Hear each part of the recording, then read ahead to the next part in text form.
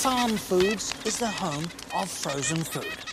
And these little chaps have just heard about their amazing prices.